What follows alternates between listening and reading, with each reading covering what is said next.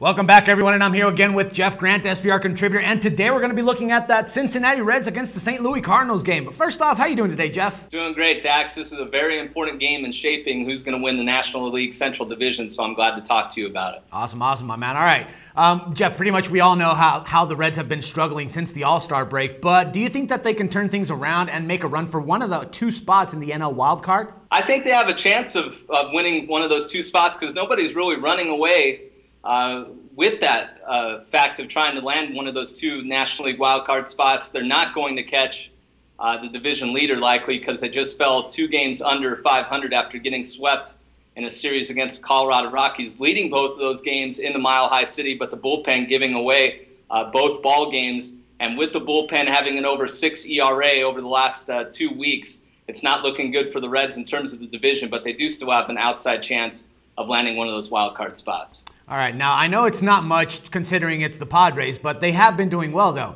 But the Cards just earned a series victory against them at Busch Stadium. Now, do you expect this team to carry that momentum over into tonight's game? Yeah, the Padres aren't the Padres of April and May. They're actually playing some of the best baseball, so you definitely have to consider that the Cardinals did just beat a quality opponent.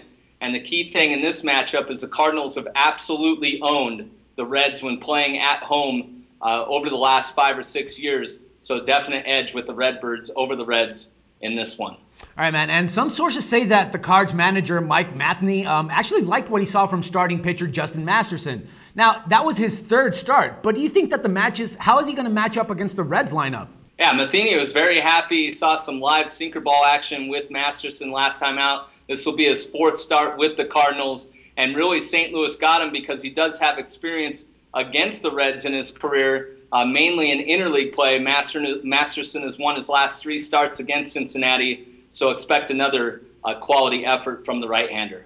All right, so considering all that, what's your lean going to be on for this game? I'm going to back the Cardinals to win the series opener. Uh, the Reds, like I said, dropped a couple uh, games that they should have won. And when a team drops under that 500 mark this late in the season and really is looking up at the division, the clubhouse really has low morale. But more importantly, I'm going to look to back the Cardinals in the first five innings because I don't trust their bullpen either. So I'm going to go St. Louis first five innings against Cincinnati. Good stuff, my man. Thank you very much, Jeff. Uh, valuable insights again, and can't wait to talk to you again tomorrow, my man. Appreciate it. Thank you. For SportsbookReview.com, this is Dax Floyd.